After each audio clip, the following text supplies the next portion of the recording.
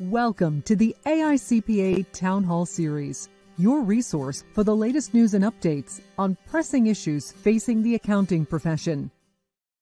Good afternoon and welcome to the AICPA Town Hall Series. I'm Eric Asgeirsson, one of your hosts for today. We've got a power packed session for you. We call this the Power Hour uh, for the profession. And I got I have to credit the programming team for today's town hall we really have an incredible lineup. And what it's all about is bringing you timely information, doing our best job at interpreting it, and then talking about strategies and capabilities. And we're going to be doing all of that today. We're going to kick things off uh, with an update uh, from our DC team. And then we're going to have a fireside chat with Lisa Bodell, who's one of the leading, you know, futurists and uh, keynoters in the country and the world and she's going to talk about simplicity and gaining a competitive advantage of you know simplifying things and i think she's going to give us a lot of good insights.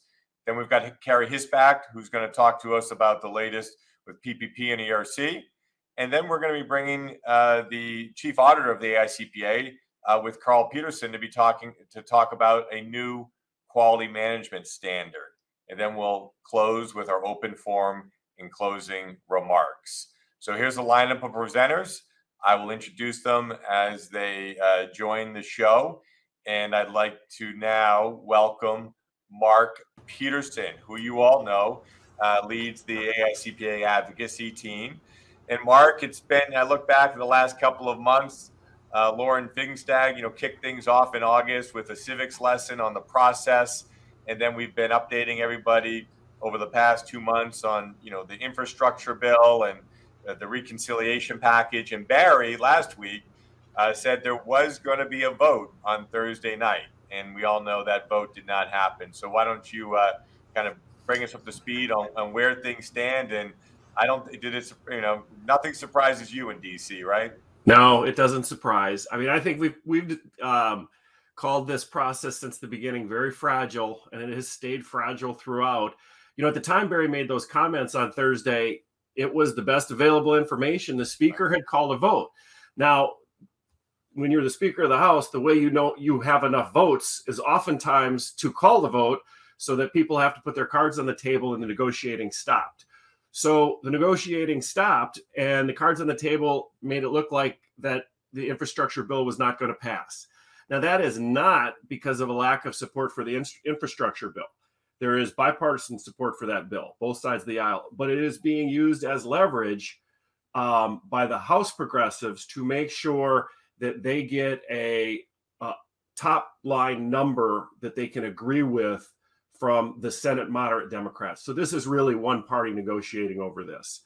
Um, and Senators Manchin from West Virginia and Sinema from Arizona had not committed to a top line number. And that's why Thursday kind of crumbled. Now, I will say, since then, there has been a ton of negotiating going on. Um, and the White House has been very engaged. And I will say that numbers have been going back and forth, which is a good sign for an outcome. So Senator Manchin suggested, you know, 1.5.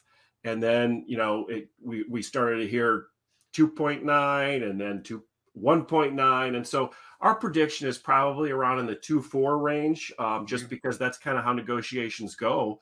Um, but we still think it's going to happen. This is all playing out in a, in a very kind of, you know, dramatic way.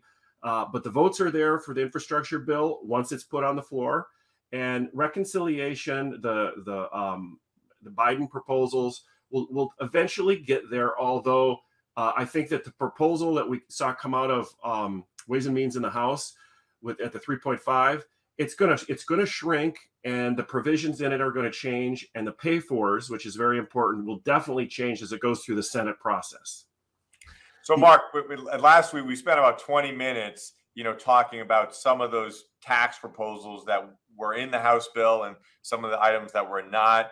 I mean, and we started unpacking them. There's there's a lot of there's a lot of complexity uh, to what will happen if, if, when these bills pass. And now it looks like it's going to be between Thanksgiving and Christmas. So we're all of a sudden we're just going to have a, a, more compressed time to, to get to get our arms around what will eventually be in these bills. Absolutely.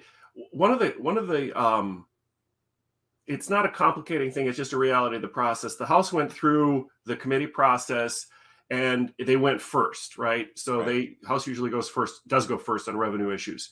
Now, what's going to happen is the Senate will do their consideration. They're in the middle of that now, but really, they're they're not planning on taking it through the committee process. So it, there's going to be um, very little information that comes out. It will be no, negotiated amongst a small group, mm-hmm. um, and then what's most likely to happen later in the year, and we'll get into why that is later in the year in the next slide, is that it will be it will be released to the House back as kind of a take it or leave it. That's that's the way things are shaping up. Again, it's going to get smaller, and I think that the provisions in it and the pay fors, things like complexity potentially around partnerships and things like mm-hmm. that, are, are going to be a challenge. We're going to be watching closely. Well, let's. This is looks like you know kicking the can down the road here, but it looks like today maybe you can make a prediction that will come true. Uh, they're going to, uh, you know, ex- pass the debt ceiling uh, uh, bill here? Well, uh, the the team's supposed to be texting me if something happens. They've negotiated a deal on the debt limit. The Treasury had said the debt limit was probably going to run out uh, October 18th. That's the X date. It's not a science. They make estimates about when it's going to run out, and if it we, have never defaulted on the debt, and so it creates a lot of anxiety, ripples in the market. You know, concerns about interest rates. Um, and, and other huge challenges. It's not the kind of thing anybody wants to mess with. However, it takes a burning platform to get decisions made in DC. And so, right now, today, it looks like there's a deal that will, uh, Republicans will give the Democrats in the Senate enough votes to extend it by four, $480 billion. So, raise it, not suspend it, but raise it by $480 billion. So, that most likely gets you to about December 3rd. Now, you know, last week, the other thing they did was extend the uh, funding for the federal government. They kicked that can called the continuing resolution, but funding for the government also to the be- beginning of December. So the way this is shaping up, if it, if it plays out today like we think it's going to, is both the debt limit and the um, budget, the funding for the, for the federal government is both going to run out again on December 3rd. So think of just a new cliff that's being shaped up in December.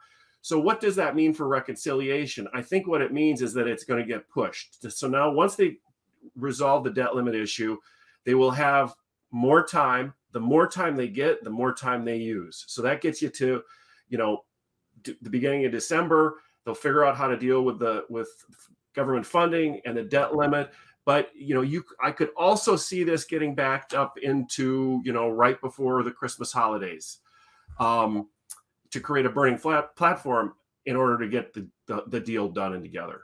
Well mark we're going to go back in open forum we're probably already at like 60 70 approaching 100 questions here. And one is just i mean this is an obvious question related to our erc and ppp area but they're saying okay now so are they going to make erc retroactive now if the infrastructure bill doesn't get passed till the end of December. Uh, so, I mean, these these are the types of questions that that are going to be raised. hundred percent. I I'm listen. It's going to be rough. Uh, we're we're still we're still dealing with you know a lot of the of the stimulus packages and looking for guidance. Uh, how this new tax bill is going to impact that, and you know, passing the bill is only half of the marathon. You got to run back to the beginning in order to get guidance and get implementation through the agencies. So you know, I hate to say it to practitioners, but you know, it's going to be a rough season. Right. Well, Mark, uh, thanks for this opening. We're gonna we're gonna have a good open forum session. We'll try to we'll try to take take more questions related to all of these activities uh, in DC. Uh, but so we'll we'll we'll see we'll see you in, in a little bit. Great, thank you, Eric. So now I'd like to uh, have Lisa Bodell uh, join. Lisa, it's great to have you with uh, with us. I was with Lisa um, at Digital CPA in uh, December of 2019. Yeah. Which, yeah, where you gave a fantastic keynote. Thank you. And some really great concepts, and I, I, mm. I, so much of our audience took a lot of those concept down, those concepts down. I know they've been leveraging them through the pandemic, so I really look forward to this discussion. But just here's a little bit about uh, Lisa. She leads. She's the CEO of FutureThink. Uh, she's one of the top, you know, 50 keynoters in the world. Uh, she's written "Why Simple Wins," and that's really what we're going to talk about. Is some of some of her thinking around how, uh, with, with, being very intentional, uh, you can really be, be more productive. Mm-hmm. So it's how to be, better use your time.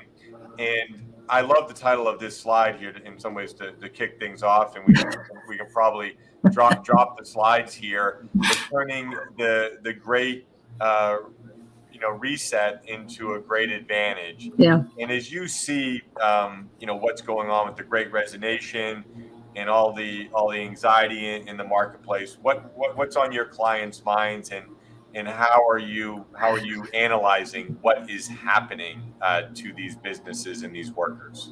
Well, it won't be shocking, Eric, in terms of um, what people are saying, but really what's happening is um, you know there's too many competing priorities, and people are having a hard time focusing.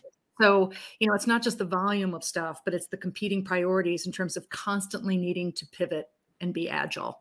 Mm-hmm. And while that's really important, they just don't have enough time in the day. I mean, there's there's really great statistics showing that people now are working an average of one to two hours a day longer Right? Mm-hmm. Commute time is now work time, and uh, there's communication overload. So, on average, especially for the audience here, the uh, IMs, emails, communications have gone up 50 to 65 percent. I mean, I, I, feel it. I'm sure you feel right. it too.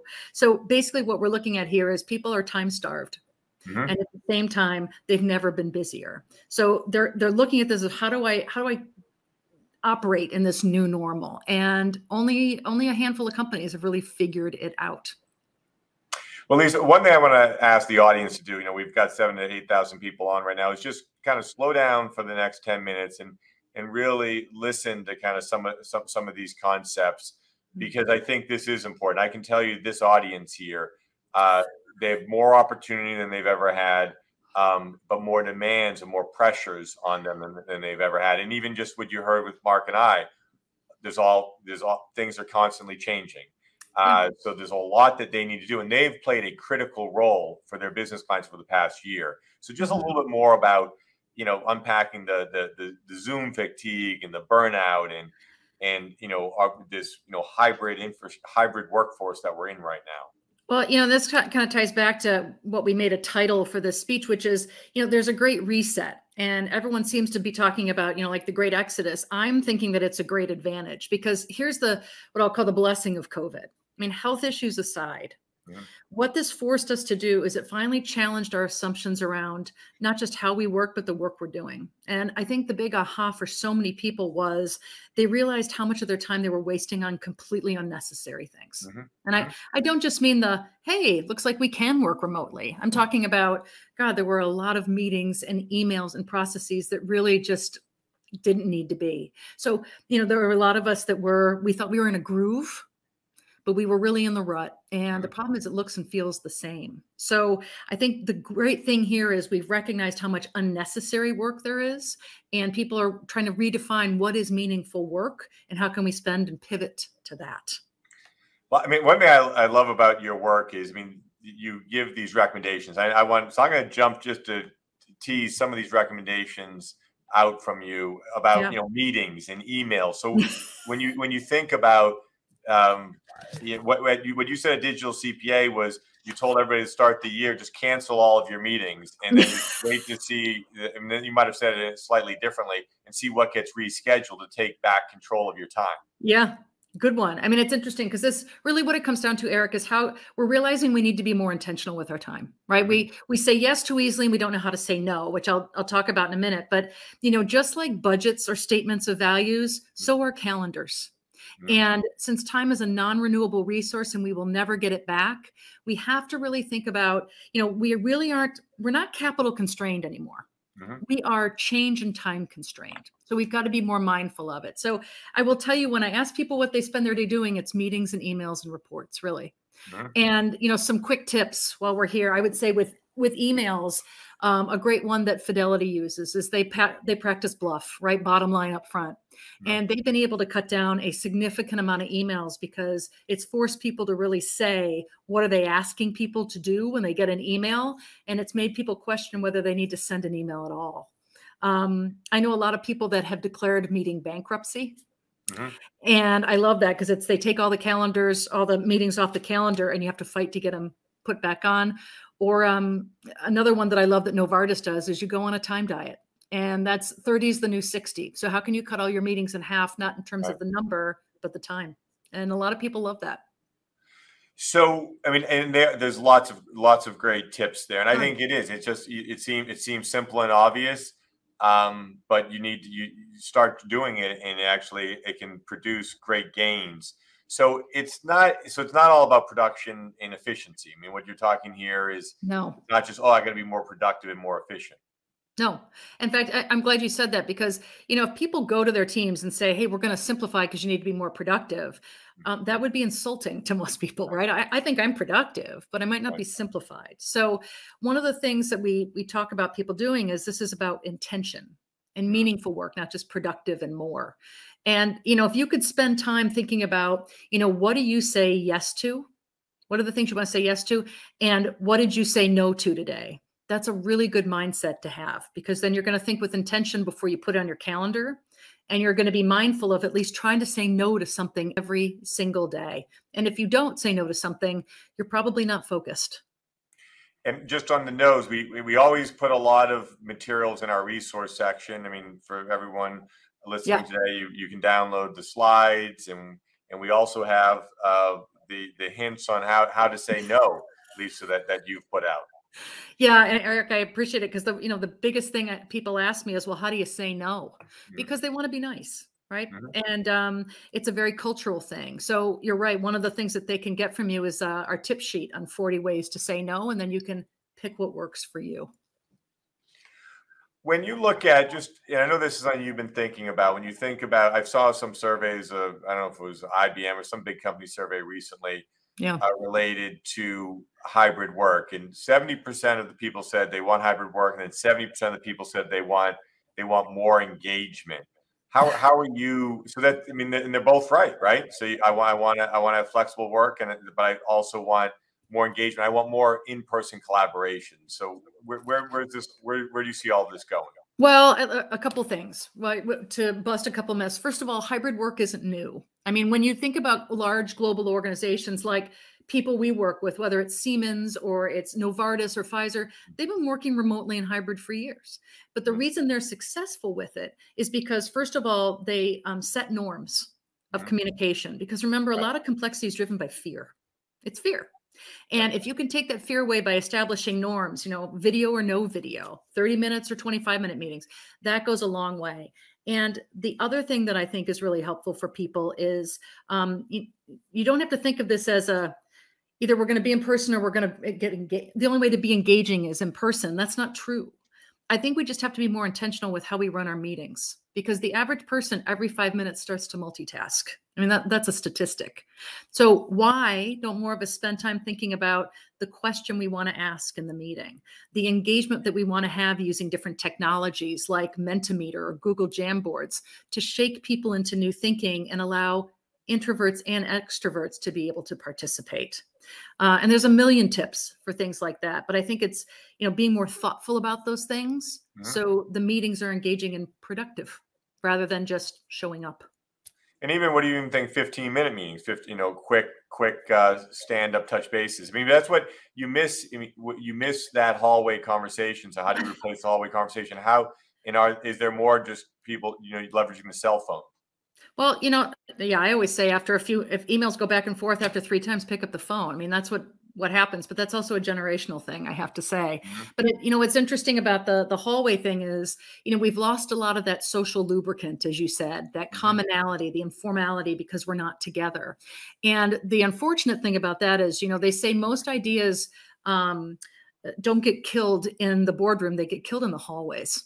Mm-hmm. And that's because that's where the real talk happens. So if we're going to be working hybrid, we've got to create those norms and some informal time so people can really say what they think versus just being in a structured zoom call. And that that's why we see it like fidelity and state street and a lot of other pe- places people having um, 15 minute check-ins with their teams just to get the offhand stuff and uh, office hours where people can just drop in unstructured and talk about what's on their mind. It's very it, it's the kind of opposite effect right? Being less structured to get more production done and it, what i'm what i'm seeing at least is i you know with a lot of companies a lot of firms is there's going to be a bigger difference between high performing teams. I mean, pr- prior to the pandemic, high performing teams mattered a lot, but now actually the competitive advantage of a true high performing team is that much more because it's harder. It's harder to do all of this. So when you're doing it well, mm-hmm. you're going to have that competitive advantage.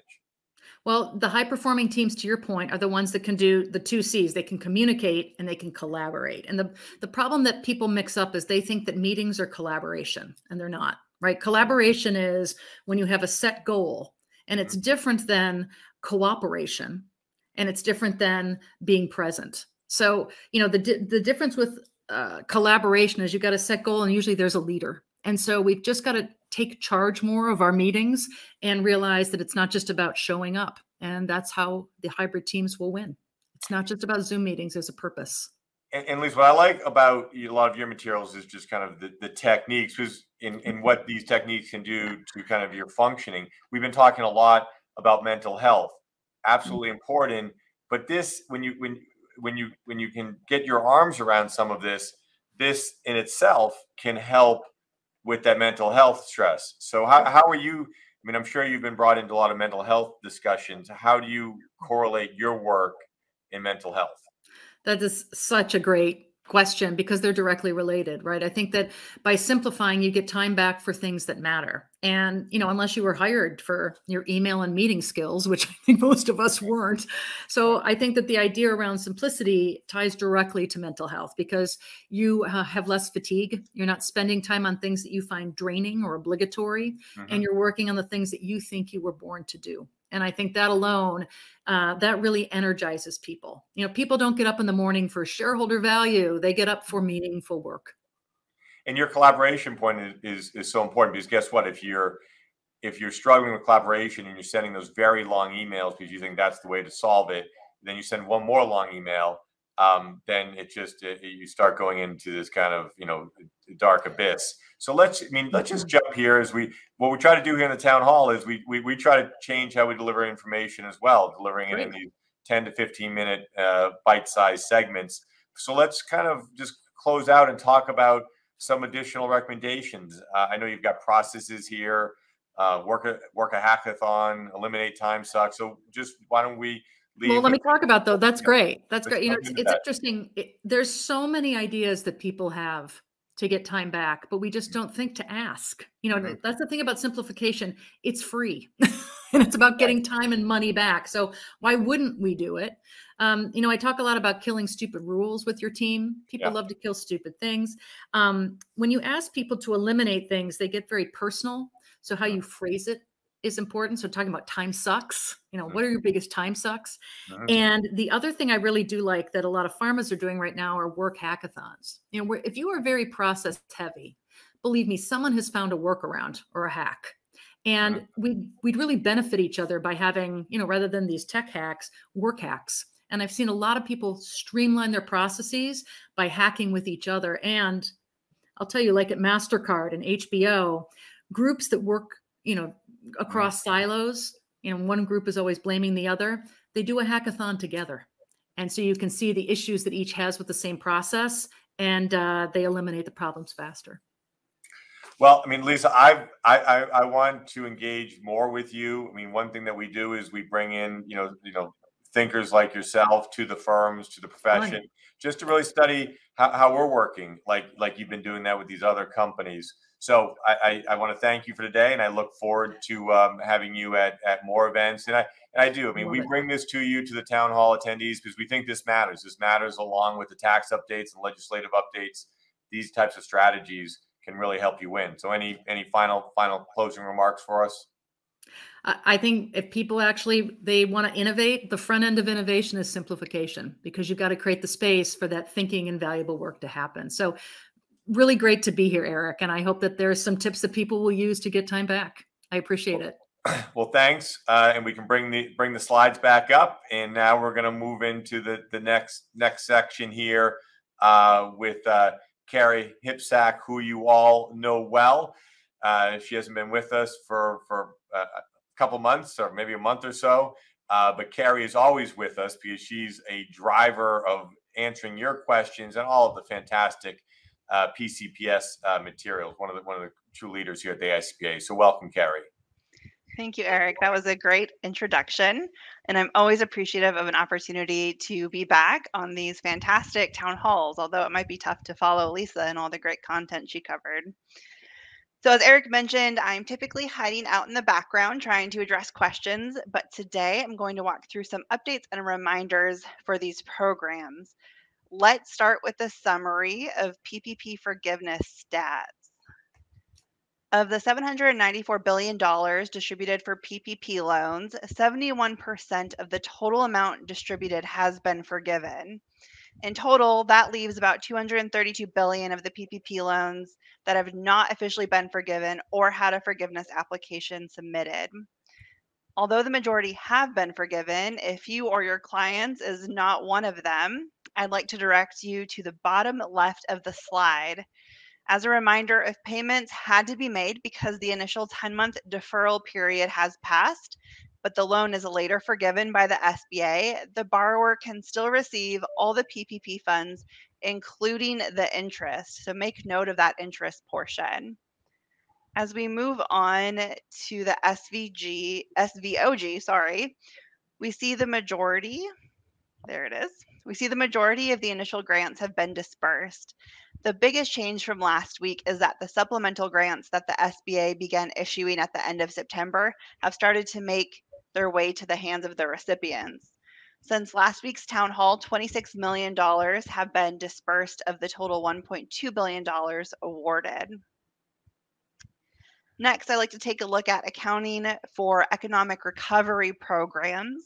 The AICPA released two technical questions and answers documents known as TQAs, related to PPP as well as SVOG and RRF. I paired up with some of my colleagues to create videos walking through the accounting options presented in both the TQAs. We've highlighted accounting for PPP in the past, and brand new as of yesterday, we released an accounting for SVOG and RRF. All the videos are hyperlinked in this resource here, or you can easily find them on our main PPP page at aicpa.org forward slash SBA.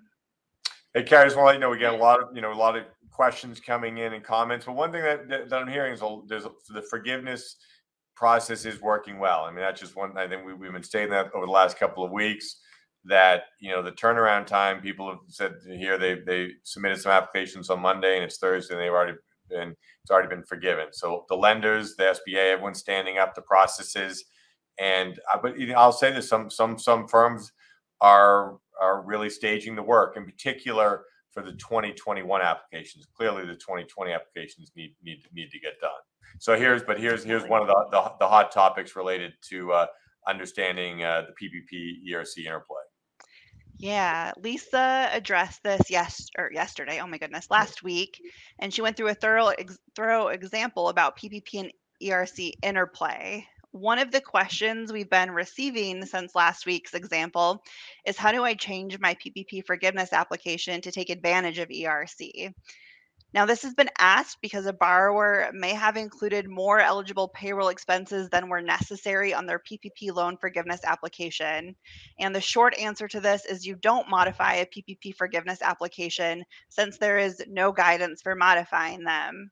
However, IRS Notice 2021 20 highlights that any payroll costs paid during the covered period will still be considered qualified wages for the ERC if they're not part of that forgiven component.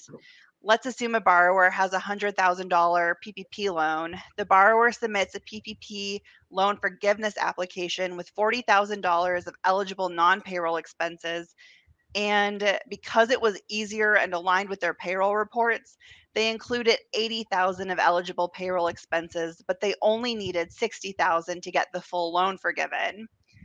The remaining $20,000 of payroll expense that was included on the forgiveness application can still be used for ERC. This is, of course, assuming that all the other ERC requirements are met. So, the follow up questions we've been receiving to that is how do I allocate PPP and ERC wages used? And do I have to use all PPP wages in a linear fashion as the wages are allocated between the two programs? I think Lisa said this before, but just want to reiterate there is no guidance for how wages must be allocated between the two programs. At a minimum, for PPP, the wages must be paid or incurred during the covered period, and any additional limitations would need to be considered. For example, no employee can be allocated more than $46,154 of payroll under PPP, and no owner employee can be allocated more than $20,833 of payroll costs um, across all, all business entities that received PPP. So that's just some quick reminders for you all. We're going to move on to EIDL real quick. Most of this content is a reminder from last week. I wanted to bring this slide back because tomorrow the SBA will begin approving loans over $500,000 up to the reinstated cap of $2 million. This opportunity is still available through the end of the year, and some of the recent changes may make EIDL an option for small businesses when they haven't considered it in the past. And those changes are summarized here. And there's also a link to the IFR for more details. Last but not least, here's a summary of the targeted, targeted EIDL Advance programs. You may recall the primary EIDL Advance program ran, ran, out of funding a while ago, but there are still opportunities for an advance, which does not have to be repaid if the applicants can meet the criteria summarized here. Similar to the original EIDL Advance, the targeted EIDL Advance provides up to $10,000, and there is a supplemental targeted advance that can provide up to an additional $5,000. More details are available on the SBA site. There's a link here, and it also contains a variety of resources, including a mapping tool to determine if a potential applicant is in a low income community. So check those out if they could be of use to you or your clients.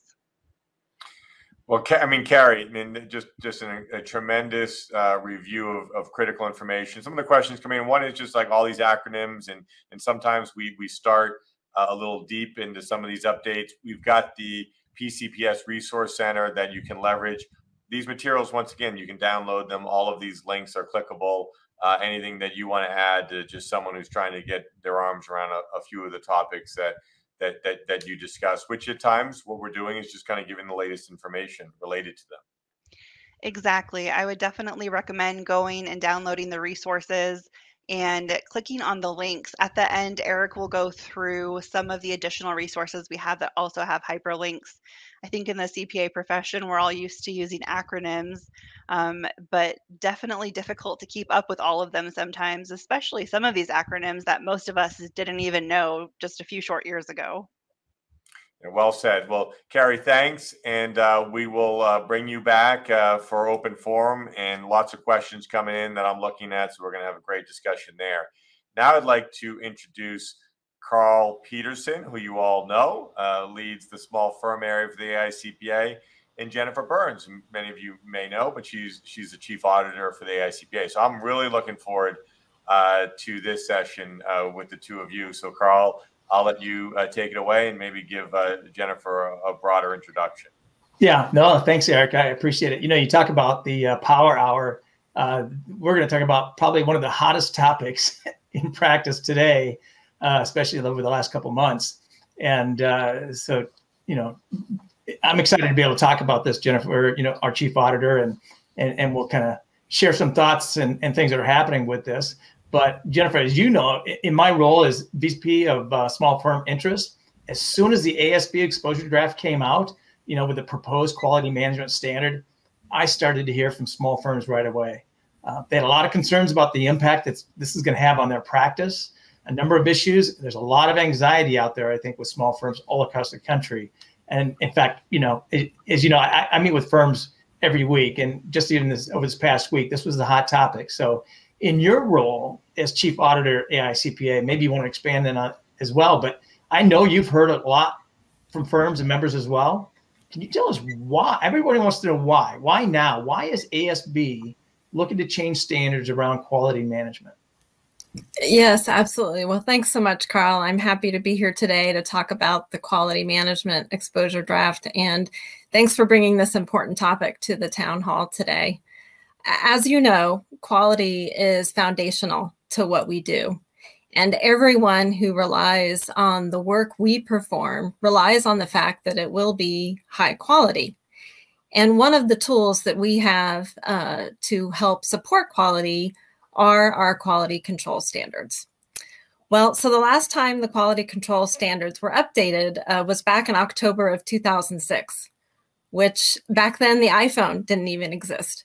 So a lot has changed since 2006. And the concepts that were incorporated into the exposure draft have become fundamental. So, for example, the concept of performing a risk assessment, the concept of continuous improvement, those have all become expected. So, we think it is important to embed those concepts as well as some others in the standards to help support our commitment to quality. The proposed standards have been influenced by results of peer reviews, studies by other regulators, as well as uh, the IAASB's project on quality management. The standards that the ASB proposed were written to converge with the IAASB's uh, quality management standards. And it's important uh, and, and, and it makes sense to converge because concepts related to quality should not be dramatically different across standard setters or across jurisdictions. And the thought of lack of convergence among various standard setters and jurisdictions would make it really difficult and challenging for firms. They might have to have multiple systems of quality control in place, which just isn't practical. So the new standards uh, were also written to provide an integrated approach to quality management. And the important aspect of, of having this integrated approach is the concept of tailoring uh, your quality management program specific to your firm and the risks that are identified uh, in relation to your practice. So the important thing here is that we're trying to write the standards in a way that they're scalable and can be tailored to your firm. Uh, scalability. We're going to have to have a follow up conversation about that one of these days, Jennifer. yes. Um, but, we're going to get into here in a minute. I think you know the, the, the real issues that impact small firms, and but I, I, know when this when this exposure draft came out, uh, you know we had conversations. People on your team, we had conversations, and we kind of all knew this was going to be a material change in how firms design their system of quality control. And I know your team reached out to small firms and users for input. What type of outreach did your team do, and, and what was the response? Well, so let me say that first of all, outreach is critical to the standard setting process. Uh, for example, the feedback we obtain through the exposure period, uh, it really helps the ASB understand potential challenges in applying what has been proposed. It also helps to identify any unintended consequences um, and it's important, uh, you know, as, as part of being a part of this profession, it's important to be engaged and provide that feedback through the exposure period. So I, I really do appreciate all of the comments received. And, and since the exposure draft went out, we've been very focused on raising awareness and doing that outreach so we could get that feedback. And over the course of the summer, we held 15 roundtables we had about 500 participants at those roundtables, and it really was an excellent way to engage in dialogue with a lot of our members and hear that feedback directly. So that was extremely helpful. Um, we also wanted to make it easy for people to provide feedback on this exposure draft. So, for example, we developed a template that people could use if they wanted to write a formal letter. We also said, please provide informal feedback an email would do just fine. So in a lot of cases, we got just that, some emails, which was, again, terrific to get the feedback. And also importantly, we've been in dialogue with the PCPS Technical Issues Committee, or what we like to call TIC, another acronym for everybody out there. Um, we do have TIC representation on uh, the ASB Quality Management Task Force. Uh, TIC is the committee that uh, represents the views of smaller firms. TIC also did provide a comment letter, a formal comment letter to the ASB on the proposal. Um, and in total, we got over 170 comment letters, uh, which is the highest number we've received in at least 15 years. Um, and of those 171, I think about 106 were from firms uh, with 20 professionals or less. So a lot of feedback, and I, I really appreciate everybody out there for sending us uh, in your views. Yeah, I, I think you know, I think it's pretty phenomenal that the majority of the comment letters you got back were from small firms, and um, and and the other thing I want to point out, TIC does an absolutely phenomenal job in truly representing small firm interest when they look at these any standard that's been proposed or any issues that's out there, and the way they look at it and make their you know comment about it, it, it does keep the small firm practitioner uh, in their minds, and and and we really appreciate the work that they do. So we might go ahead and go to the next slide, and and and so from those comment letters, and I'll tell or the emails, and I'll tell you even from the calls that I've had, the conversations that I've had with firms on this exposure draft, on the quality management standard that's been proposed. What were the top issues that you heard from firms well, so there were three top issues that came through the comment letters and all the dialogue loud and clear. First, um, there are significant concerns regarding the potential prohibition of self-inspection in relation to monitoring of completed engagements. And here, practitioners are worried about the lack of resources available to perform third-party inspections if self-inspection is prohibited. They're also worried about the costs and whether the benefits outweigh the costs, particularly given other safeguards in place to support quality and monitor completed engagements, including peer review. Um, the second issue we heard a lot about was um, a lot of concern regarding the idea of a cooling off period for engagement quality reviewers and how that could actually be detrimental to audit quality. So, for example, while a cooling off period might result in someone perceived to be more objective performing the engagement quality review, at that same time, that same person might be less competent if they don't have the same sort of industry uh, experience. Uh, so the ASB will be focusing in part on finding that right balance between competency and objectivity. The last topic we heard a lot about were uh, concerns about the effective date. There has been a lot of change in the last few years in both accounting and auditing. And we heard a lot of concerns about uh, if we add changes now to the quality management standards while the profession is still absorbing those other changes, that will uh, create more challenge for, for all firms. Um, so on each of these issues, the task force has been uh, discussing the comments that have come in and trying to develop some alternatives for the auditing standards board to consider. Yeah. You know, I, I was just thinking about some of the uh, calls and conversations I've had with small firms. There's a lot of passion out there and and uh, a lot of a lot of passion, a lot of colorful language, a lot of passion. We'll just leave it there.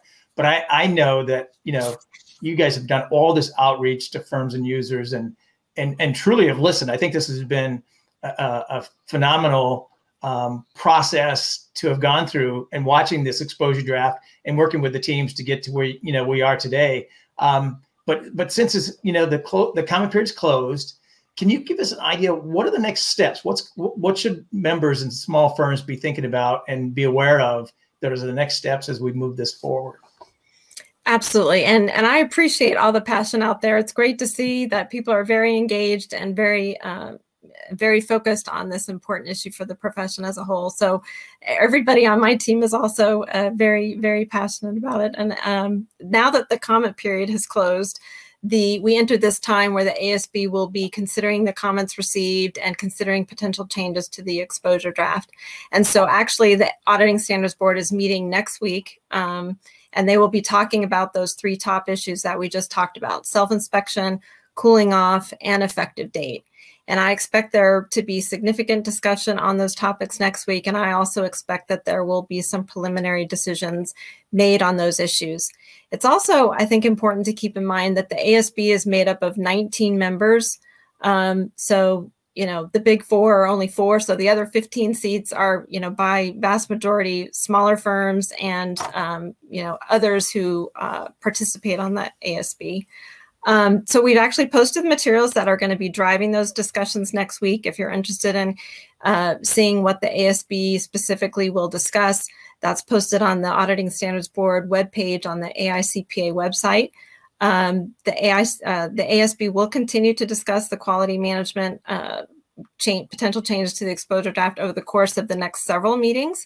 And then the goal uh, is to develop a final standard that supports quality uh, while taking into account the various costs and benefits that we have to try to weigh. Um, the ASB does plan to vote on a final standard sometime in Q2 of next year. Stay tuned about what the ASB might say next week about an effective date. Um, and the ASB meetings are now live streamed. So anybody out there who's interested in listening to the discussions, you can uh, listen in real time. And if you're not available next week and you're still interested in hearing uh, what the ASB discussed, it is available. It will be available for replay. We've started doing that with all of our meetings. Um, so you can uh, look for that too if you can't make it next week. Not to put you on the spot here, actually, but uh, doesn't the discussion paper also does that is that the the paper that also includes recommendations and and maybe safeguards that you guys have uh, talked about and and and are asking ASB to consider? Is that it, part of that discussion paper? It does actually. So yeah, I, I think that's important to get. I think if if listeners want to go take a look at what the you know the brain trust has talked about and thought about to get to where we can get ASB to go. This is my opinion as a small firm advocate in the right direction to where we need to be, so there's no unintended consequences with the proposed statement of standards on quality management as proposed. So uh, that's an important discussion paper that's available, and it's you have public access to it, right? So Yes, exactly. And I can, um, you know, I can, I can preview some of those if, if we have a couple more minutes, I can mention. So for example, on the effective date, the task force has recommended that the effective date be pushed out. Uh, so that is, I think, probably likely, but we have to see what the ASB says. Uh, the, on the self-inspection issue, uh, the task force is also recommending um, a risk-based approach to self-inspection. So that self-inspection would not be prohibited. And on the cooling off period, uh, it's something similar. So, um, you know, no promises because the ASB have to has to make these decisions and have the debate next week. Um, so take a look at that paper and tune in if you're interested. Yeah, and I'll, and I'll tell you, just you know, as I after I read the paper, as a practitioner, because I, you know, I've been here nine years now at the AICPA, and when I was in practice, I feel that the the recommendations that the uh, task force has put together for ASB to consider um, gives me a lot of comfort that's going in the right direction. So I really appreciate that. So thanks for the time, Jennifer. This has been great. Well, and I, I got to, Carl, it's a live show. So, you know, we always bring live questions. So I got, let me bring a couple live questions to uh, to you and Jennifer. That was that was great. And it, and we also here, uh, Jennifer, will bring them updates on what what comes out of these future future ASB meetings, and we, we will definitely make uh, those links available to them if they want to they want to watch watch directly. So a couple of the questions here. One just you you you you did just uh, review it again, but just on self inspection, like three or four questions came in about it. Will it be part of the the final standard? You know, wanting it to be part of the final standard. So maybe just comment a little bit further on uh, on on the self inspection and how you see that, that that going forward. What the task force is recommending that the ASB consider is that to not outright prohibit self inspection. So, uh, what they're recommending is adding some language to the standard that would say something like if the firm does not have sufficient resources to uh, perform inspection of completed engagements other than self inspection, that self inspection would not necessarily be prohibited. So we'll see how the ASB feels about that language next week and if they agree to add it. Okay, and then uh, I'll let Carl and Jennifer here. I mean, this you, you've been Carl. You won't be surprised by, by this this comment here. Uh, what is this going to? What do you think this is going to do to small firms? Is this going to drive some, some, small firms out of providing, uh, com, you know, reviews and, and, compilations? Which, and I'll t- I'll just say this. One thing I, I think about peer review and all these different standards this is the differentiator. We we know you know non CPA firms. They don't have these these types of, of quality measures, and that's what makes the profession great. So hey, I I, I shouldn't ask a question and give an answer, but yeah. I did. I want I want, but I want you uh, to kind of respond to that. Yeah, I'll I'll tell you, Eric, that if it there may be some fallout, absolutely. If somebody's not really going to take the time and look at the new proposed standard once it's finalized, which I think will incorporate some changes and tweaks that have been recommended by the ASB task force. And once you've done that, is I if they adopt the recommendations, I think the major concerns that small firms have uh, are going to be alleviated, and um, I, I, the value of small firms in this space is so great.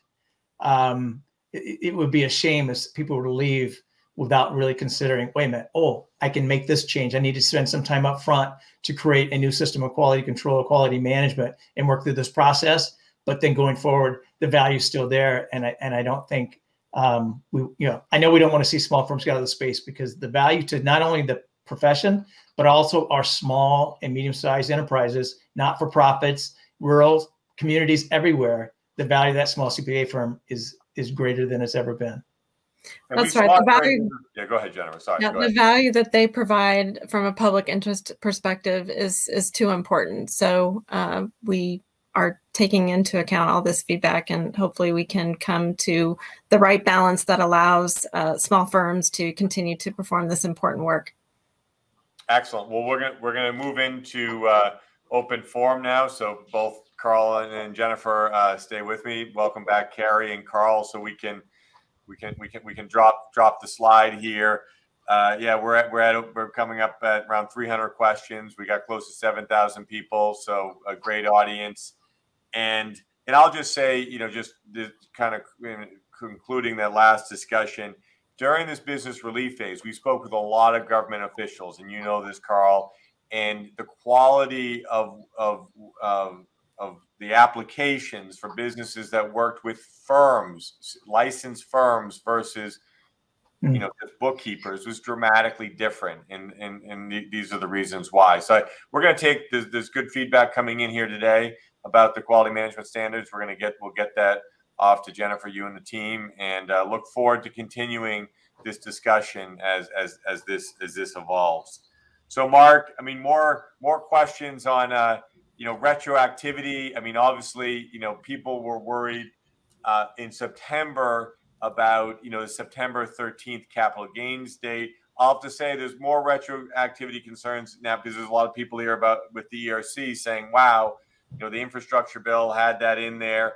It had it had it not going into Q4. Now, if you sign in for this bill in, uh, you know, the final week of the year. So, maybe just because there's been a couple more questions on that, maybe a, a few more reflections from you.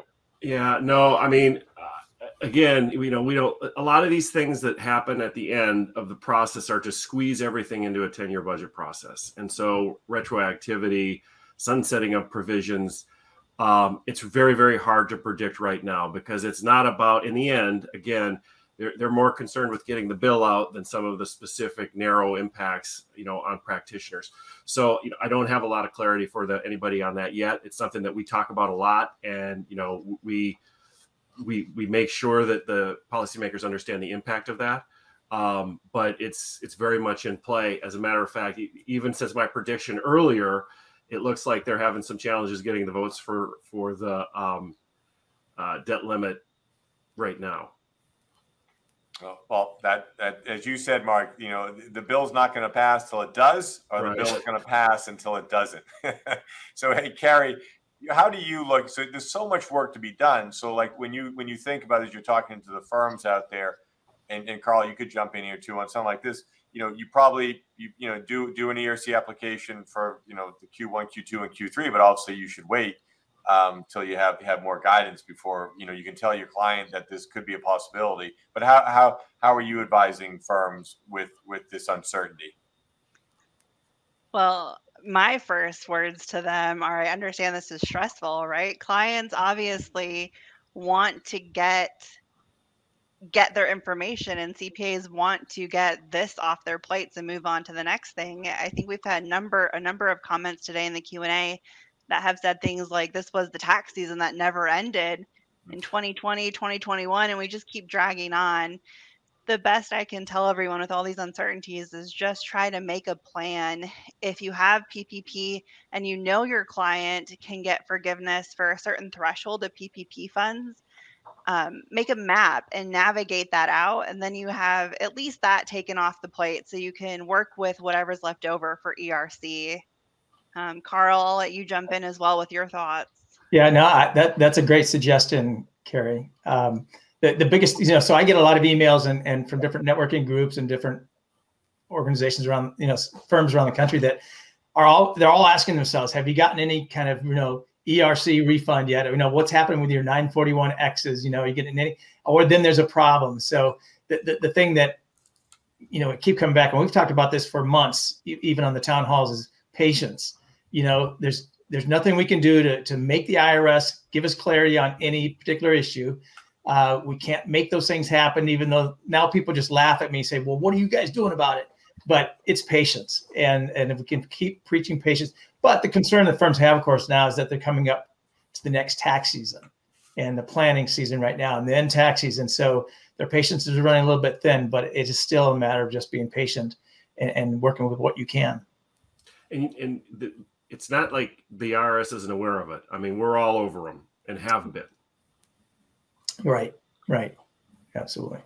Well, I mean, it, it, I, this is this is great engagement, great, great engagement uh, from the audience. Uh, let me just uh, just uh, Jennifer a question, not not about the quality management standard, but about the risk assessment standard.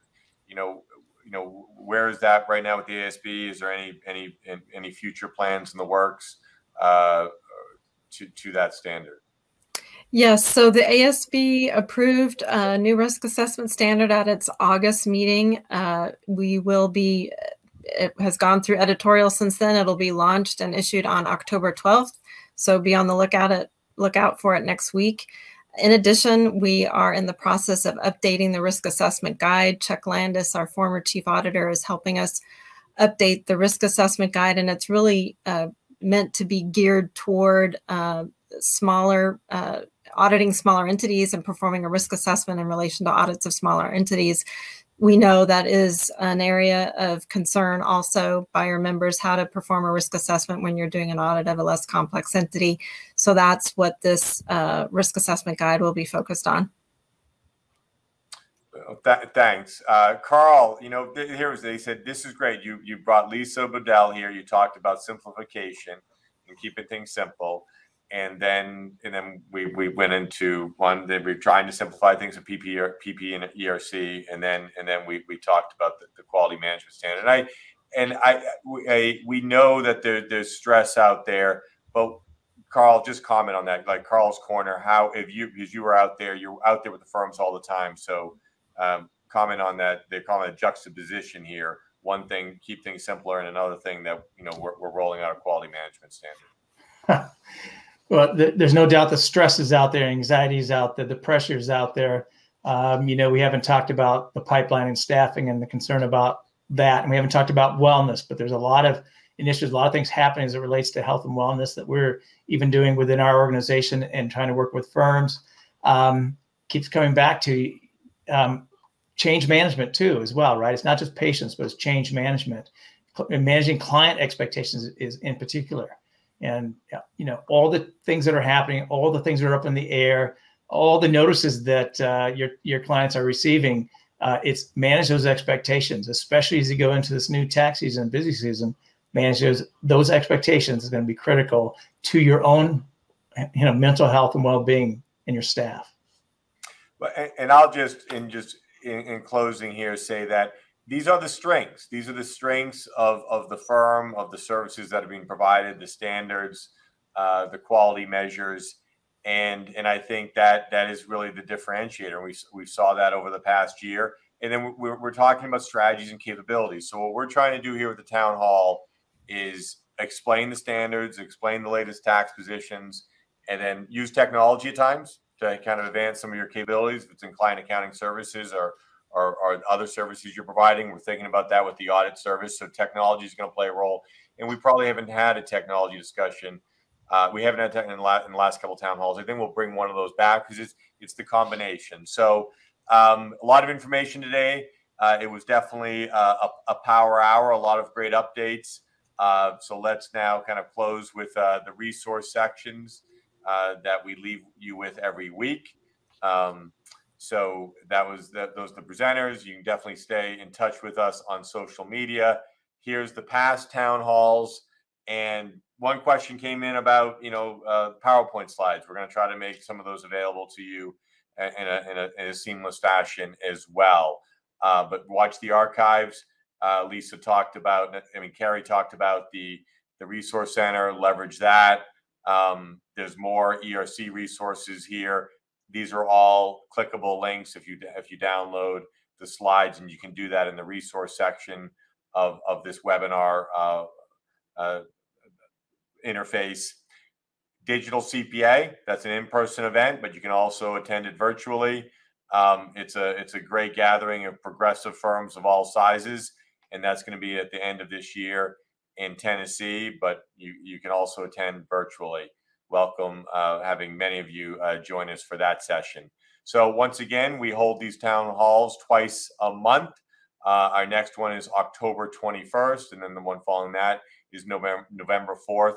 I do want to thank again the team uh, that puts together these materials. We think uh, about how to make each town hall as, as informative as possible, um, bring you the latest information, and also try to unpack it and give you strategies on how to best uh, move your practice or if you're in business and industry, uh, your company forward.